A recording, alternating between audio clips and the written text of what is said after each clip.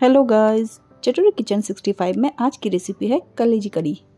कलेजी करी बनाने के लिए मैंने यहाँ ले लिया है आधा किलो कलेजी। इसे मैंने नमक हल्दी से अच्छी तरह से मिक्स कर लेना है।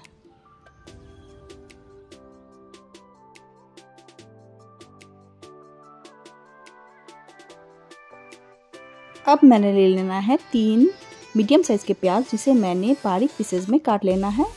और ले लेना है दो आलू, जिसे मैंने छील के क्यूब पीसेस में काट लेना है।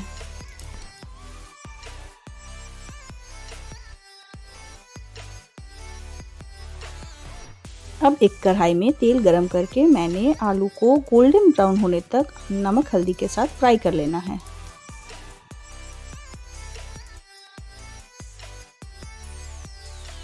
आलू फ्राई हो गई है, अब मैंने उसे उठा के एक प्लेट में अलग से रख देना है। अब इसी तेल में मुझे फ्राई करना है प्याज, कटे हुए प्याज को। उसमें मैंने डाल देना है एक टमाटर और इसे भी नमक हल्दी के साथ फ्राई कर लेना है अच्छी तरह से।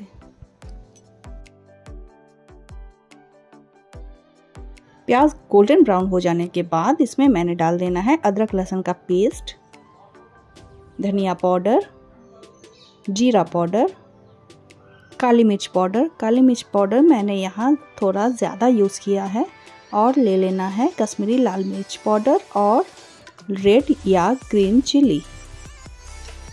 इन सारे मसालों को अच्छी तरह से मिक्स कर लेना है।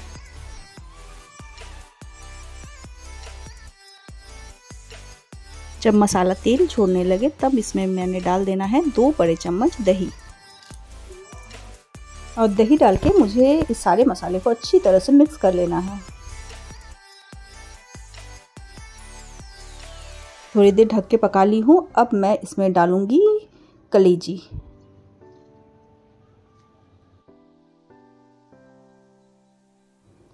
कलेजी को भी अच्छी तरह से मसालों के साथ मिक्स कर लेना है मैंने।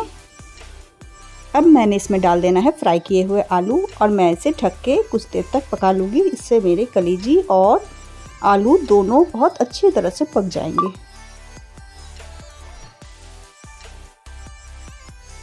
देखिए, कितना खूबसूरत कलर आया है इसका, और कलेजी और आलू भी बहुत अच्छी तरह से पक चुके हैं। और अब इसमें मैंने डाल देना है हाफ़ टी स्पून गरम मसाला पाउडर।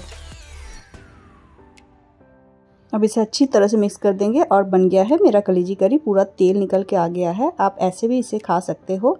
और मुझे ग्रेवी थोड़ा चाहिए था, इसलिए मैंने इसमें डाल देना है गर्म पानी। गर्म पानी डाल के मैंने इसे हाई फ्लेम में अच्छी तरह से बॉईल कर लेना है, ताकि कलेजी के साथ पानी और मसाला सारा अच्छी तरह से मिक्स हो जाए और बन गया है मेरा गर्मा गर्म लाल लाल कलेजी करी।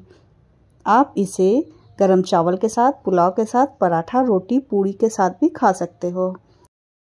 हम आज इसे लंच में सोना चूर चावल के साथ खाने वाले हैं। तो कैसा लगा आज का रेसिपी रेसिपी अच्छा लगा हो तो please like share and subscribe my channel thank you